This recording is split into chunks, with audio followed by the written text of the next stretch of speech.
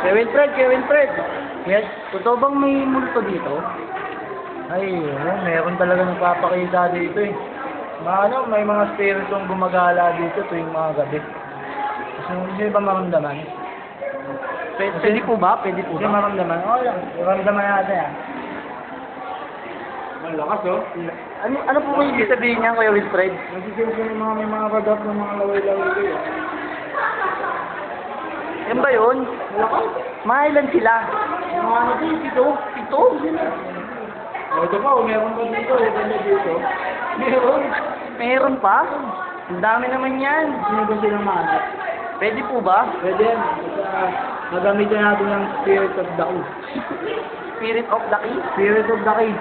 Hanapin natin yung mga sanhi. Mga sanhi sa ang bunga.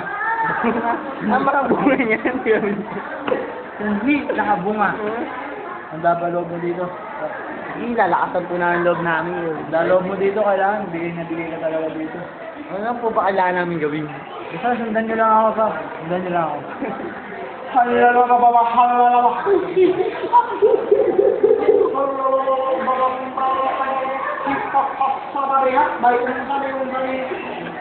ka Kalaban sila, oh. Ano ba ibig sabihin yan? Malaman ng mga bunga ng mga spirito dito.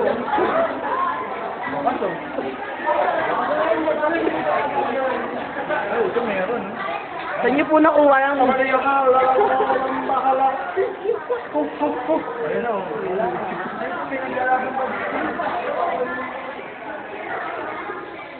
Kuya Wilfred, Kuya Wilfred. Hello. Saan niyo nakuha yung Spirit of the? Galing ko ko yun eh. Galing kasama ko na to. Sa mga kuweba. Kinuha pa to ng lola ko.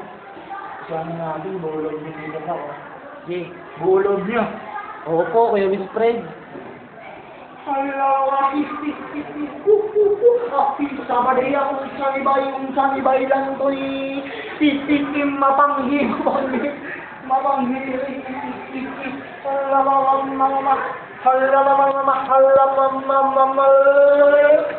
bột mà lầm bột mà lầm bột tung tăng lên nó chạy chứ Bà đi